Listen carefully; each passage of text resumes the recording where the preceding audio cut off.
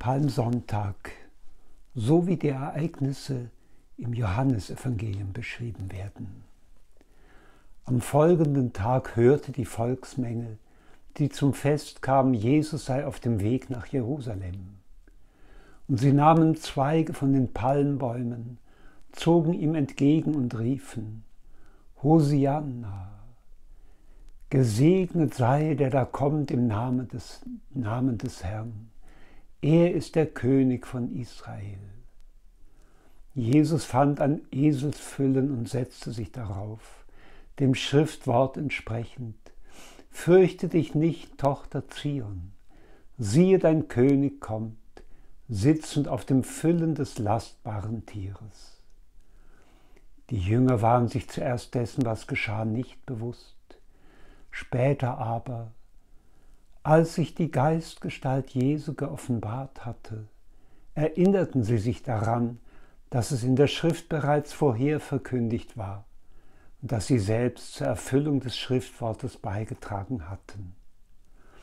Das Volk, das dabei gewesen war, wie er Lazarus aus dem Grabe rief und von den Toten auferweckte, bekannte sich zu ihm.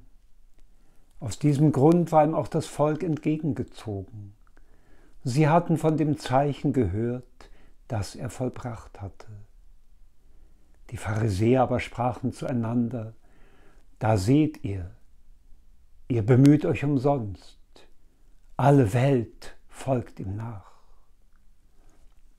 Unter denen, die hinaufzogen, um zum Fest ihre Gebete zu verrichten, waren auch einige Griechen.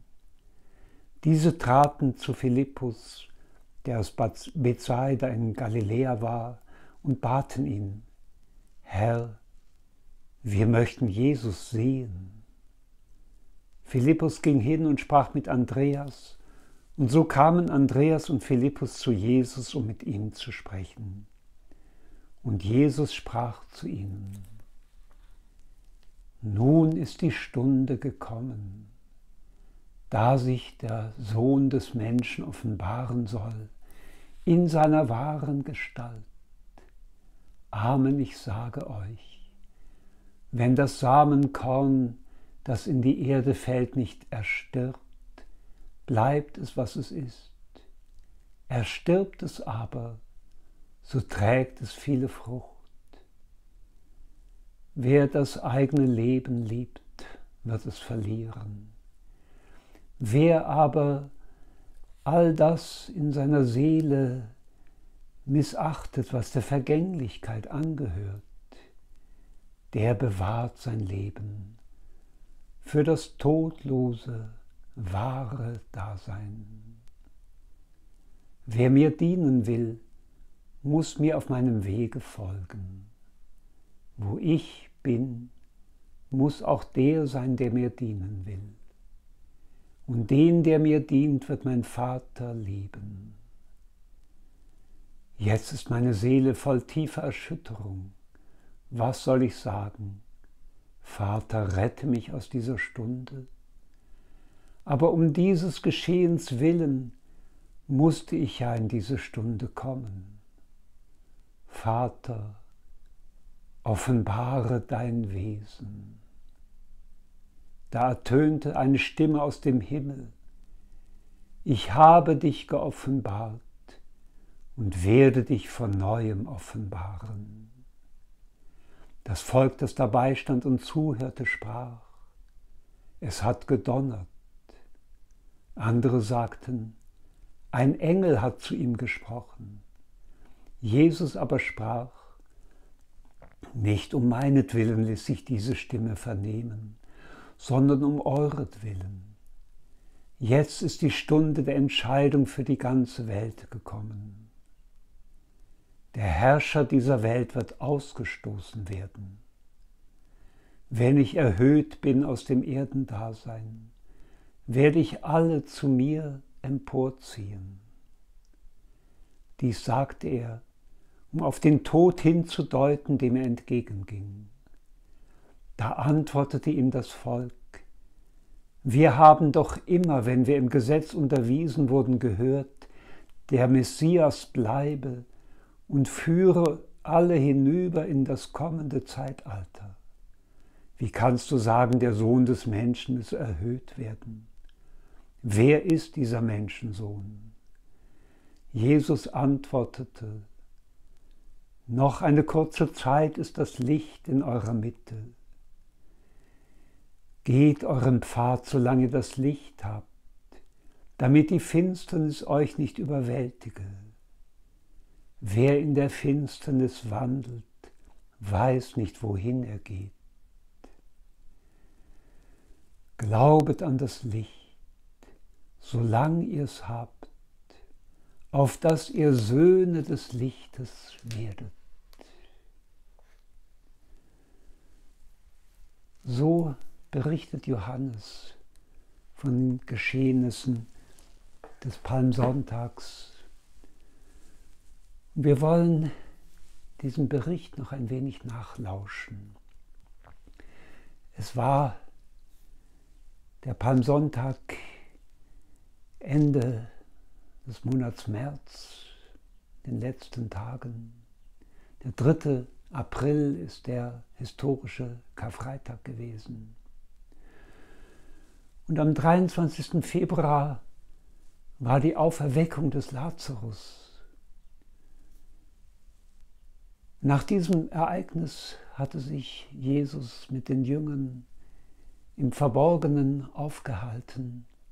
Und diejenigen, die dieses Ereignis der Erweckung des Lazarus miterlebt hatten, warteten seither sehnsüchtig, dass er wieder erscheine.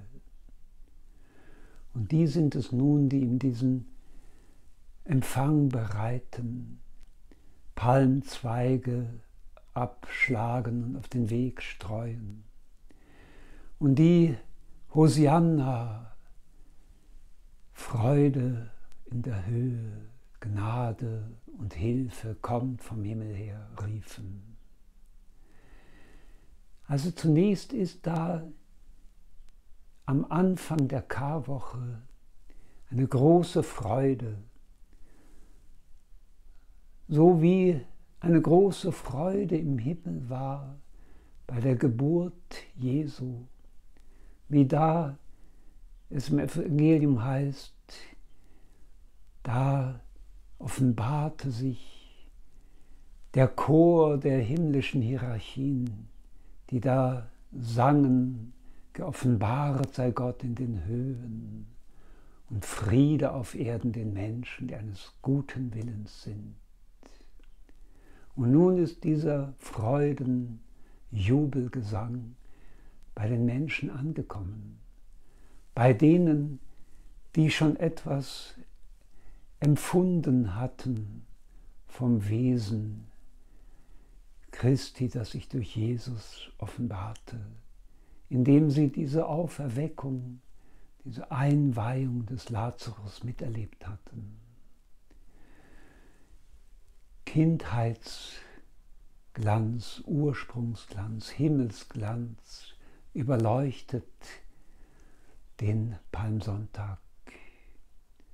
Und das ist auch gleichzeitig so etwas, was das Leben jedes einzelnen Menschen am Anfang überglänzt die Kindheitshimmelskräfte.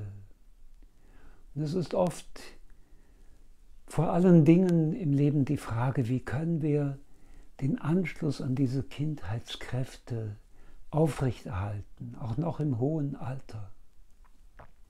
Da ist ein mögliches, was wir ganz leicht üben können, dass wir Dankbarkeit üben, dass wir in besonderen Zeiten mit jedem Atemzug, mit jedem Blick, mit jeder Bewegung unserer Hände Dankbarkeit da so wie hineinschicken, so wie es in einem wunderschönen Kinderabendgebet, das Rudolf Steiner geschrieben hat, heißt, mein Herz dankt, dass mein Auge sehen darf, dass mein Ohr hören darf, dass ich wachend fühlen darf und so weiter. Also, da wird nicht gesagt, das Herz soll danken, sondern das Herz dankt. Und wenn es uns gelingt, in diese Herzensebene zu kommen, dann können wir erleben, wie auch wir von dieser Dankbarkeit uns durchdrungen fühlen dürfen.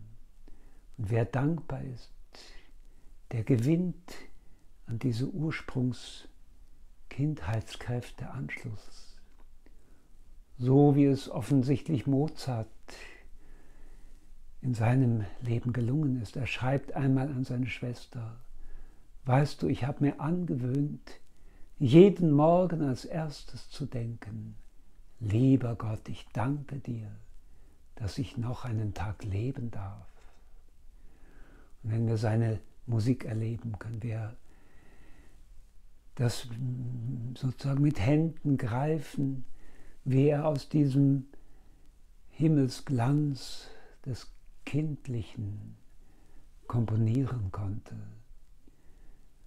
Wie das, was ein Kind in den ersten drei Jahren noch überleuchtet, wie das bei ihm das ganze Leben so wie zur Verfügung stand, als ein Quell unendlicher Inspirationen.